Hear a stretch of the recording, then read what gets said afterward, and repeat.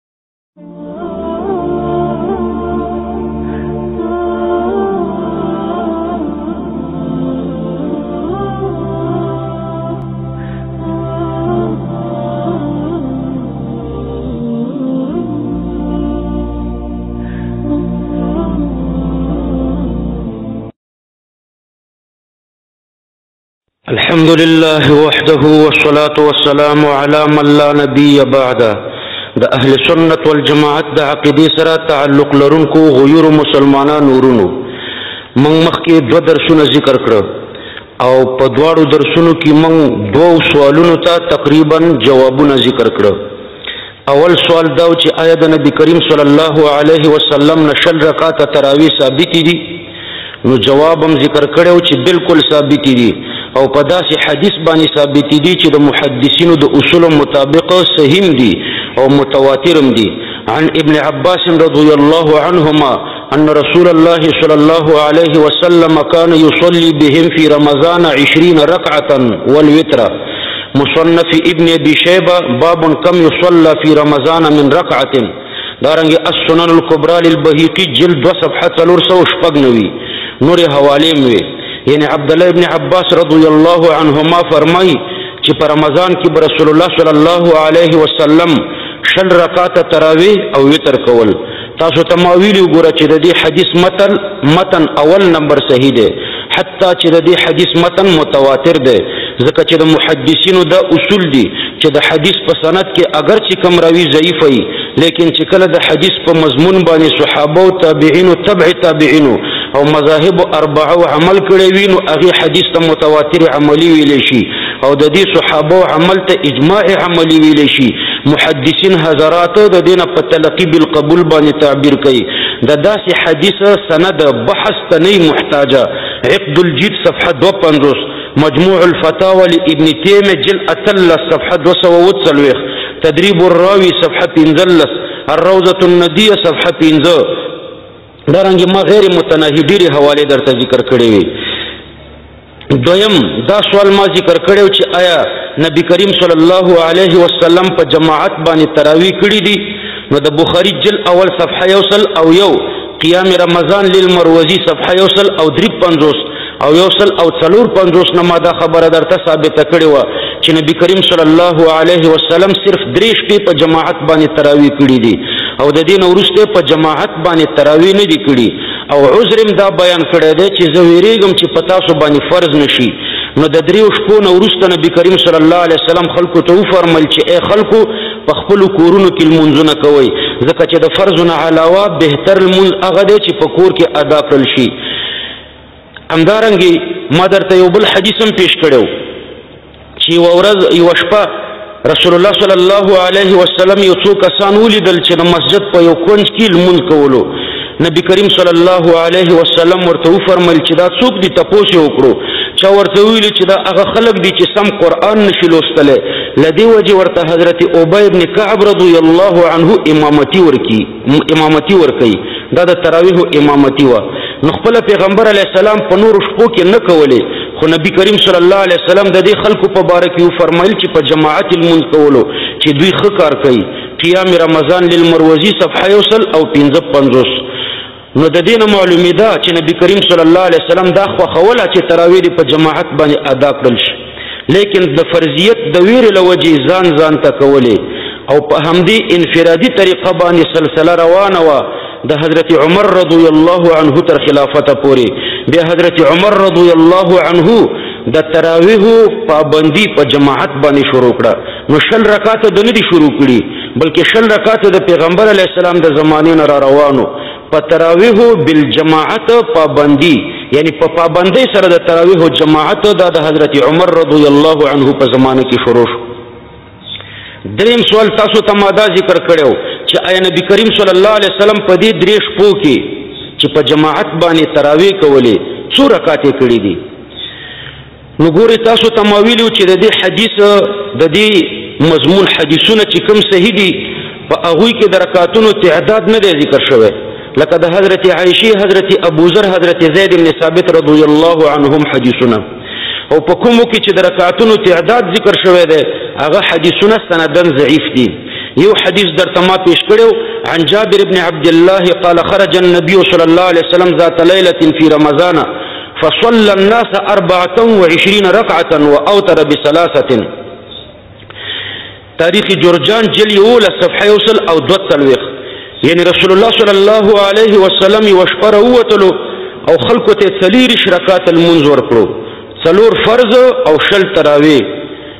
او درې رکعاته وتر وکړل د دې حدیث په سند کې محمد ابن حمید الرازی ضعیف دی لیکن مخکې یو متواتر حدیث د عبد الله ابن عباس رضی الله عنه درته ما ذکر کړو چې پاره کې د شلو رکعاتونو د تراویح ذکر نو هغه د دې حدیث د پاره مؤید دی هغه متواتر عملی حدیث د دې حدیث تایید کوي د دوړو حدیثونو په مابین کې فرق دا شو چې د عبد الله ابن عباس رضی الله عنهما په حدیث کې شل رکعات تراوی ذکر دي او د حضرت جابر رضی الله عنه په حدیث کې شل رکعات تراوی بالجماعت ذکر دي یعنی دا شل رکعات په جماعت باندې ادا کړی دي د دې دریو اعتراضاتو تفصیلی جوابونه د حوالو سره مخکې ذکر شو پنن درس کې یو دوه سواله او جواب ذکر کوو. اول سوال دا چې آیا د حضرت عمر رضی الله عنه د خلافت په زمانه کې شل رکعاته تراویح کېدلې؟ او دویم کټیمو دا سوال بم ذکر کو چې د حضرت عمر رضی الله عنه د خلافت نورسته د صحابو د تابعینو په زمانه کې څو رکعاته تراوی کېدلې خو کې دې شي دی بل سوال ته ټیم پیدا نشي د اول سوال به غالبا جواب کو آیا د حضرت عمر رضی الله عنه د خلافت په زمانه کې شل رکعات تراوی کېدلی تاسو به جواب ورکړئ چې د حضرت عمر رضی الله عنه د خلافت په اول کال کې د تراویح د جماعت اهتمام نو بیا په دوهم کال د دې پوره اهتمام وشو د دې وجه دا و چې حضرت عمر رضی الله عنه ولیدل چې په مسجد نبوي کې بعضې خلک یوازې یوازې د تراویح لمونځ کوي او بعضې په جماعت باندې کوي او جماعتونه متعدد دي څوک په یو ځای کې د یو قاری پسې ولاړ دي او څوک بل ځای کې نو حضرت عمر رضی الله عنه ته دې کار خوند ورنکړو او وی فرمایل چې لو جماعت هؤلاء على قار واحد لكان امثلو لو جمعت هؤلاء على قار واحد لكان امثل ثم هزم فجمعهم على ابي بن كعب رضي الله عنه يعني كذا دا خلق په یو قاری را جمع کم نو ډیر بخی به کلک عزم وکړو او ټول خلک په ابي بن كعب رضي الله عنه را جمع کړل د دین ورسته یو ځل ولیدل چې ټول صحابه او تابعین د یو امام په اقتدا کې د تراویح المنز کوي نو حضرت عمر رضی الله عنه فرمایل چې دا جدیده طریقه خدا بخاری جل اول صفحه 209 نعمت البدعه یعنی دا جدیده طریقه خدا چې ټول خلق د یو امام په امامتۍ کې په پابندۍ سره د جماعت لمونځ کوي نو یو سبب خداو چې خلکو مختلف المنزونه د تراویح کول چا ځان ځان ته او چا په جماعت او جماعتونه متعددو لدی وجنه یو امام ورته وټاکلو او دویم سبب دو چې د کوم امام आवाज بخپلو نو په تراویح کې به د هغه مقتدیان زیاتو په یو جماعت کې به دوه درې په یو مسجد کې به دوه درې جماعته تراویح کېدلې نو د کوم امام اواز به چې ښکلی نو په تراویحو کې به د هغه مقتدیان زیاتو او د کوم امام اواز به چې هغومره نه و ښکلی نو د هغه مقتدیان به کمو نو حضرت عمر رضی الله عنه پوه شو چې خلکو د قرآن په ځای اواز مقصود ګرځولی دی نو له دې وجې څخه په یو امام را جمع کړل پاتې شو دا خبره چې حضرت ابی ابن کعب رضی الله عنه بیا د څو رکعاتو تراویح امامتي کوله نو د دې لپاره د احادیثو ټول طرق قتل پکار دي حضرت ابی ابن کعب د څو رکعاتو تراویح امامتي کوله زب د دې باب ټول احادیث تاسو په خدمت کې پیش کوم اول د صاحب ابن یزید رحمه الله په یو روایت کې راځي چې حضرت عمر ابن الخطاب رضی الله عنه حضرت ابی ابن کعب او حضرت تمیم الداری رضی الله عنهما ته حکم وکړو چې خلکو ته د یو لس رکعاتو امامتي ورکړي نو په دې کې اته رکعاته تراویح او درې رکعاته وتر شو بهقي جلد 2 صفحه 300 شپږ نوي د دې حدیث په باره کې امام ابن عبد البر رحمه الله په الاستذکار کې لیکي چې وهم و غلط جلد دو صفحه نه شپېته باب ما جاء فی قیام رمضان یعنی دا حدیث وهم او غلط حدیث دی خو بیا په دې حدیث کې اثر اغلی دویمه عن السائب ابن يزيد قال كانوا يقومون على عهد عمر بن الخط على عهد عمر بن الخطاب في شهر رمضان بعشرين ركعة بهقی جلد دو صفحه څلور سو شپږ نوي یعنی صاحب ابن یزید فرمای چې خلکو به د حضرت عمر رضی الله عنه په زمانه کې شل رکعات تراوی کولې دام د حضرت صاحب ابن یزید رضی الله عنه حدیث ته په دې کې شل رکعات راغلي دا مخکنی حدیث چې اته پکې راغلی وي دا غي په باره کې امام ابن عبد البر فرمایلی چې وهم او غلط نور طرقم درته ذکر کوم عن یزید ابن رومان درې مطریقه قال كان الناس يقومون في زمن عمر بن الخطاب في رمضان بثلاث وعشرين ركعة يزيد بن رومان رضي الله عنه فرمي چې خلکو به د حضرت عمر رضی الله عنه په زمانه کې درویش رکعات کول شل رکعات تراوی او درې رکعات وتر بهیتی جلد 2 صفحه 300 شپږ نوي څلورم حدیث عن يحيى بن سعيد أن عمر بن الخطاب رضي الله عنه أمر رجلا يصلي بهم عشرين ركعة يعني يحيى بن سعيد فرمای چې عمر بن الخطاب رضی الله عنه یو سړي ته امر وکړو چې خلکو ته د شل رکعاتو تراویح امامتي ورکړي مصنف ابن ابي شيبه باب كم يصلى في رمضان من ركعه پنځم حدیث عن عبد العزيز قال كان ابي بن كعب رضي الله عنه يصلي في رمضان بالمدينة عشرين ركعة ويوتر بسلاس عبد العزيز بن رفيع رحمه الله فرمي چې بن كعب رضي الله عنه خلکو دشل د إمامتي وركولا مصنف ابن ابي شيبه باب كم يصلى في رمضان من ركعه شبقم حديث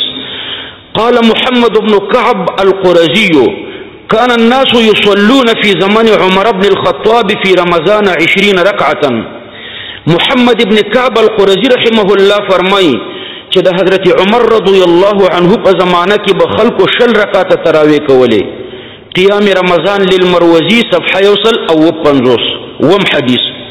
وعن ابي بن كعب رضي الله عنه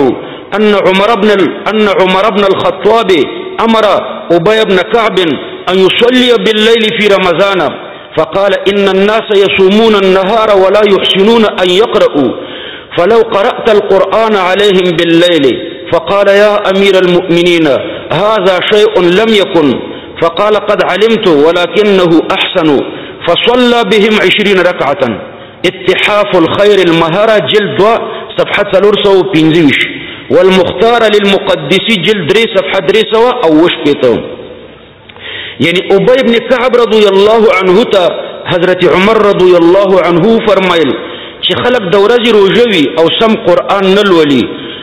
نو که ته ورته د شپې قرآن ولولې نو حضرت ابی ابن کعب رضی الله عنه ورته وفرمایل چې دا خو یو نوی شی دی نو حضرت عمر ورته وفرمایل چې ما ته معلومات دی لیکن دا طریقه ښه ده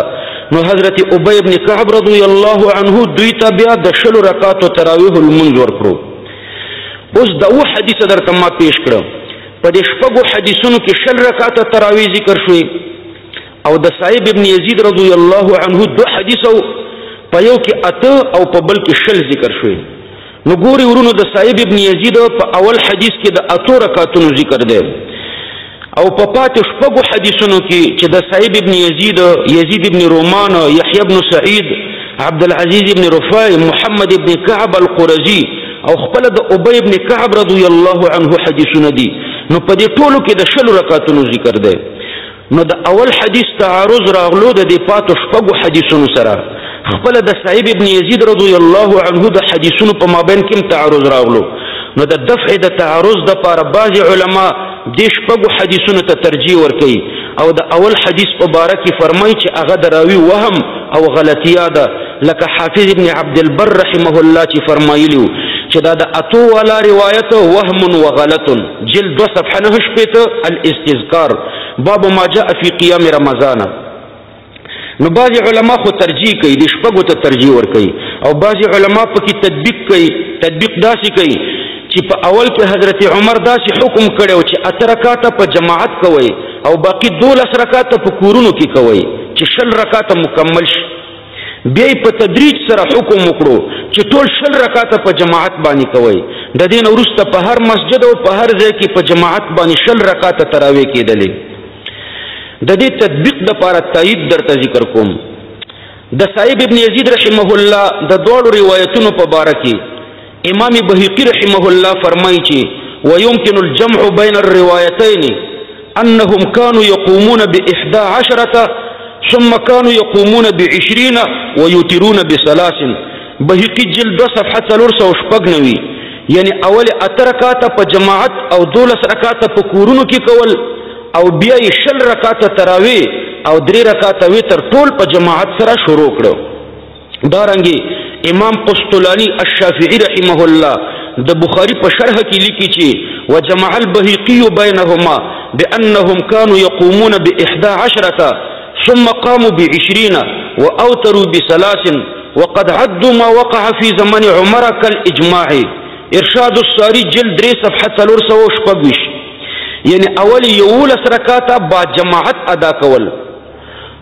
او بیا به دولس رکعات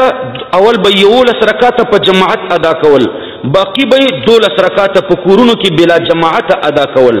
به شل رکعات تراوی او درې رکعات وتر د جماعت سره شروع کړو علامه ابن الهمام رحمه الله فرمای چې وجمع بینهما بانه وقع اولا ثم استقر الامر على العشرين فانه المتوارث فتح القدیر جل اول صفحه څلور سو وو یعنی اول به یولس رکعاته با جماعت ادا کول یولس رکعاته په جماعت یعنی دولس رکعاته به په کور کې کول بیا وروسته شل رکعاته با جماعت شروع شول او همدا شل رکعاته پیړې په پیړې په تواتر سره را روان دي مولا علی قری رحمه الله فرمایي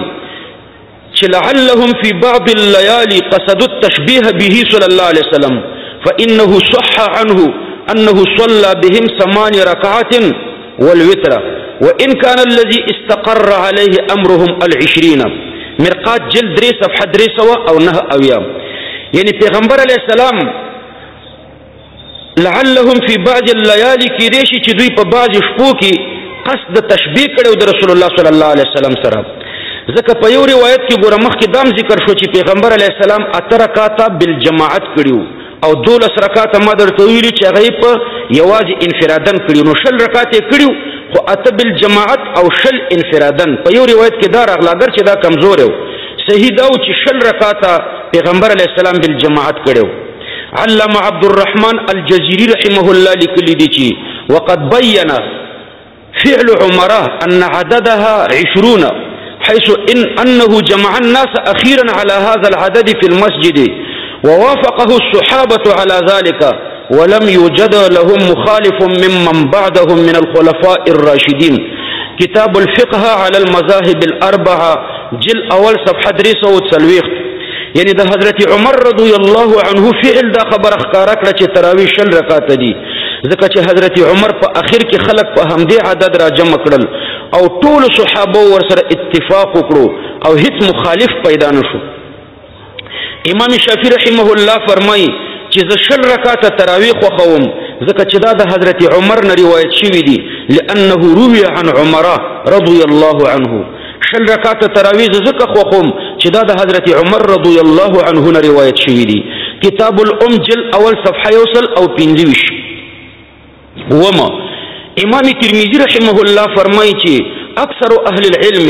على ما روي عن عمر وعلي وغيرهما من اصحاب النبي صلى الله عليه وسلم 20 ركعه ترمذی جل اول صفحه نه نوي یعنی اکثر خلک د حضرت عمر حضرت علی و غیرهما صحابه په طریقه باندې شل رکعات تراوی کوي اتم تایید امام ابن عبد البر المالکی رحمه الله فرمایي چې وهو الصحيح عن ابي بن كعب من غير خلاف من الصحابه الاستذکار جلد دو صفحه اویا یعنی دا شل رکاته د ابی ابن کعب رضی الله عنه نه ثابت دي چې هیڅ صحابي پکې مخالفت نه دی کړی نه هم تایید علامه ابن قدامه الحنبلی رحمه الله فرمایي چې ان عمر لما جمع الناس على ابي بن كعب كان يصلي بهم 20 ركعه المغني جل اول صفحه وسو او نه نوي یعنی حضرت عمر رضی الله عنه چې کله خلق په ابی ابن کعب رضی الله عنه را جمع کړل نو هغه ورته شل رکعات تراوی کولې لسم ابن تیمیه رحمه الله فرمایي چې فلما جمع عمر على ابی ابن کعب كان يصلي بهم عشرين ركعة ثم يوتر بثلاث مجموع الفتاوى جلد دویش صفحه دو سوه او دو اویا یعنی حضرت عمر رضی الله عنه چې خلق په ابی ابن کعب رضی الله عنه را جمع کړل نو هغه خلکو ته شل رکعاته تراوی او درې رکعاته وتر ورکول یو لسم ابن تیمیه رحمه الله په بل ځای کې فرمایي چې وقد ثبت ان ابی ابن کعب رضی الله عنه كان يقوم بالناس عشرين ركعة في قيام رمضان ويوتر بثلاث فرأى كثير من العلماء أن ذلك هو السنة لأنه أقامه بين المهاجرين والأنصار ولم ينكره منكر مجموع مجموعة الفتاوى جلد درويش صفحه يوصل او دولس يعني دا ثابته دا چې ابي بن كعب رضي الله عنه بخلق تا دا د شلو رکاتو او دا دري رکاته وترو امامتي ورکوله نو ډیر علما فرمایي چې همدا شل رکعاته تراوی سنت دي ځکه چې دا عدد مهاجرینو او د انصارو په مابین کې ادا کړو او هیڅ انکار ونه کړو دولسم د وهابیانو د حرکت مشر محمد بن عبد الوهاب لیکي چې ان عمر جمع الناس على ابي بن كعب يصلي بهم 20 ركعه مجموع رسائل الشیخ محمد ابن عبد الوهاب النجدی جلد سلور صفحه یوسل اول لس یعنی حضرت عمر رضی الله عنه خلق په ابی ابن کعب را جمع کړل هغه خلق ته شل رکعات تراوی ورکولې دیر لسم امام ولی الدین العراقی رحمه الله لیکي چې لكن عمر جمع الناس على صلاة التراويح مقتدين بأبي بن كعب صلى بهم عشرين ركعة غير الوتر وهو ثلاث ركعات طرح تسريب في شرح التقريب جلد 3 صفحه اتاتيا یعنی حضرت عمر رضی الله عنه د رمضان په میاش کې د ابی ابن کعب رضی الله عنه په امامتۍ کې خلق په شل رکعات تراویح او درې رکعات وتر باندې را جمع کړل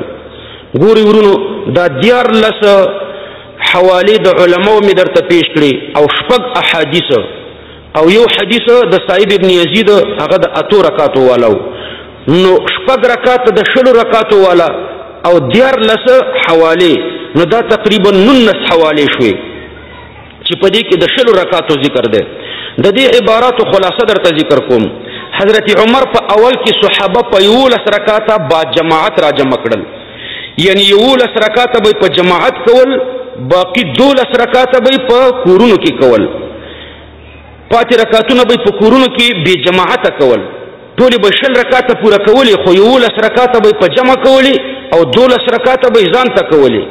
به په تدریج سره په شل رکعاتونو با جماعت عمل شروع دا په هغه وخت کې چې کله د اتو والا روایت فی الجمله مون اومنو حالانکه الاستذکار لابن عبد البرغی کې لیکلي چې دا روایت بالکل وهم او غلط دا دراوی وهم او غلطیا ده دویم د دې روایت خلاصه دا ده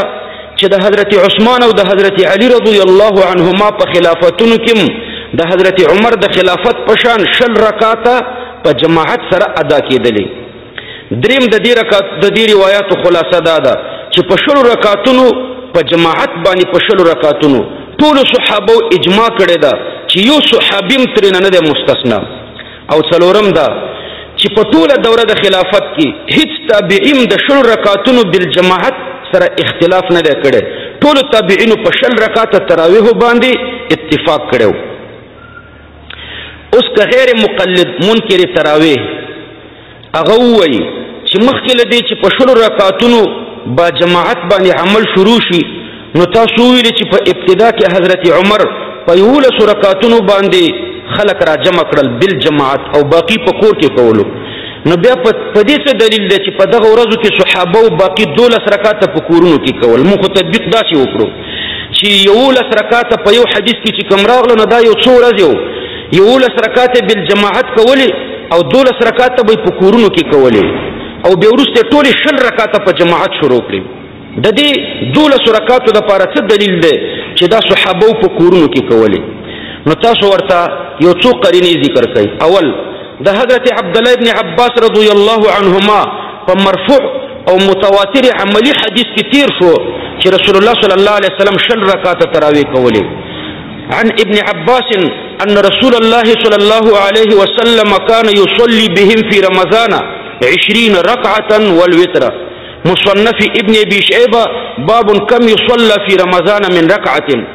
عبد الله ابن عباس فرمایي چې په رمضان کې رسول الله صلی الله علیه وسلم شل رکعات تراوی او وتر کول نو یو خو شل رکعات د پیغمبر علی السلام نه ثابت دي نو دا ممکنه نه ده چې صحابه کرام دي د پیغمبر علی السلام نه مخالفت وکړي او د حضرت عمر په زمانه کې د دریو خلفاو په شمول ټول صحابه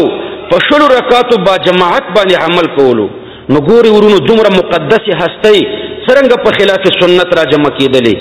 نو دومره تواتر او اجماع د غلطۍ امکان نه لري نو بلا شکه چې سنت سنت طریقه تراوی شل رکعات دي نو چې سنت شل رکعات دي نو دا ممکن نه ده چې صحابه دي سنت پری دي نو خامخا دا شل رکعات سنت تعداد شل رکعات سنت تعداد صحابه کرامو په کورونو کې پوره کړی دی د دې قرینو په خلاف د لا مذهب سره هیڅ قرینه داسې نشته چې په هغه کې د اتو رکعاتونو نه د زیادت نفي راغلی وي که غیر مقلد منکر تراویح هغه ووایي غیر منقلد منکر تراویح او غوی نه مونږ تپوس کوو دوی دې صرف یو آیات او یا صرف یو داسې حدیث پیش کی چې په هغه کې د اتو رکعاتو نه د زیادت نفي وي او بل د حضرت عمر رضی الله عنه د زمانې نه تر د انګریزانو د دورې پورې صرف یو صحابي یا صرف یو تابعی یا صرف یو تبع تابعی او یا صرف یو مسلمان دی وابیان وخی چې هغه د اتو رکعاتونو نه د زیادت نفي کړی وي نو ګوري ورونو د الله پاک په توفیق په نن درس کې ما شپږ حدیث درته ذکر کړ د شلو رکعاتو تراویح والا او دیار لس د اسلاف حواله مې درته پیش کړې چې دا نن نس کیږي او دو حدیث مې په تیرو دوو درسونو کې درته پیش کړیو چې دا یوش حواله شوي په دې یوشتو حوالو کې مرفوع موقوف احادیث دي چې رسول الله صلی الله علیه وسلم صحابه کرامو تابعینو او تبع تابعینو شل رکعات تراوی کړی دي پنځم سوال به دا درته ذکر کوم چې د حضرت عمر رضی الله عنه د زمانی نه وروسته د صحابه او د تابعینو په زمانه کې څو رکعات تراوی کېدلې نو دا مختصر سوال دی د دې جواب بم د الله پاک په توفیق درته ذکر کم جواب دا دی چې کله د حضرت عمر په زمانه کې شل رکعاته د جماعت سره تراوی شروع شوې شل رکعاته شروع نشوې دا جماعت د شل رکعاتو شروع شو شل رکعاته د پیغمبر علی السلام د زمانې نه شروع دي خو په جماعت باندې پابندي چې کله حضرت عمر شروع کړه نو د هغې نه وروسته د صحابو د تابعینو په زمانه کې په امدی شلو رکاتو بل جماعت په امدی باندې عمل کېدلو ټول صحابه او تابعین او تبع تابعین به په جماعت سره شل رکعات تراوی کولې د نمونی په طریقه به زو حدیثونه درته پیش کم اول عن ابي عبد الرحمن السلمي عن علي رضي الله عنه قال دعا القراء في رمضان فأمر منهم رجلا يصلي بالناس عشرين ركعة وکان علی یوتر بهم بهقی جلد دو صفحه څلور سو شپږ نوي یعنی حضرت علی رضی الله عنه قاریان رو وختل او یو ته پکې امر وکړو چې خلکو ته شل رکعات تراوی ادا کړي او حضرت علی رضی الله عنه ورته د وتر امامتی کوله دویم عن ابي الحسناء ان علي بن ابي طالب امر رجلا ان يصلي بالناس خمس ترويحات عشرين ركعه بهقی جلد دو صفحه څلور سو شپږ نوي ابو الحسنا فرمایي چې حضرت علی رضی الله عنه یو سړی ته امر وکړو چې خلکو ته پنځه ترویحات یعنی شل رکعات تراوی ادا کړي دریم حدیث کان عبد الله ابن مسعود يصلي بنا في شهر رمضان فينصرف عليه ليل قال الأعمش كان يصلي عشرين ركعة ويوتر بثلاث قيام رمضان للمروزي صفحه يوصل او پنځوس یعنی عبد الله ابن مسعود رضی الله عنه به خلق تشل رکعات تراوی او درې رکعات وتر ادا کول څلورم حدیث عن عطاء قال ادركت الناس وهم يصلون 23 ركعه مصنف ابن ابي شيبه باب كم يصلى في رمضان من ركعه یعنی ما صحابه او تابعین اومندل چې شل رکعات تراویح او درې رکعات وتر به کول پنځم حدیث قال عطوا ادركتهم يصلون في رمضان 20 ركعه ويوترون منها بثلاث قيام رمضان للمروزي صفحه يوصل او اتب پنځوس یعنی ما خلق لیدلی دي چې همدا نه دیر رکعات کوي شل رکعات تراویح شپاړس رکعت نفل او درې رکعت وتر دارنګ داود ابن قیس رحمه الله فرمایي چې د عمر ابن عبد العزيز او د عثمان ابن ابان رحمهم الله په زمانو کې د مدینه منورې خلکو نه د رکعات المن کولو مصنف ابن ابي شيبه باب كم يصلى في رمضان من ركعه نه دیرش رکاتو کې شل رکاته تراوی دي شپاړس رکاته نفل دي او درې رکاته ویتر دي نور حواله مخکې ذکر شوې نو دا د الله پاک په توفیق اتویش حواله شوې شپږ او و دا دیر لس حدیث می پنن درس کې درته پیش کړ دو حدیث می مخکې پیش کړو نو پنځل لس حدیث شو تقریبا پنځلس احادیث او دیارلس د اسلاف حواله درته ما ذکر کړي د ابن تیمیه رحمه الله د علامه ابن قدام الحنبلی د امام ابن عبد البر د امام ترمذی د امام ولی الدین العراقی دارنګ د امام شافعی د علامه عبد الرحمن الجزیری د مولا لقاری د ابن الحمام د قسطلانی د امام بهقی او د وابیانو د حرکت د مشر محمد بن عبد الوهاب د دې ټولو حواله درته ما پیش کړي چې د ټولو لیکلي چې تراوی شل رکعات دي پر روان درس کې به د الله پاک په توفیق باندې دا سوال او جواب ذکر کو چې د صحابه او د تابعینو په زمانه کې چې کوم امامانو د شل رکعات تراویح امامتی کړي دا د هغه نمونه کم کم دي نو یو د صحابه په زمانه کې د شل رکعات تراویح د امامانو نمونه به درته ذکر کم او د هغې دپاره به څوارلس روایات مونږ ذکر کو نو پنځلس روایات دا شو او څوارلس به هغه شي نو نهه دېرش روایات شو یو کم دېرش روایات شو د یو کم دېرشو روایاتو سره دیارلس د اسلافو حوالې یو ځای که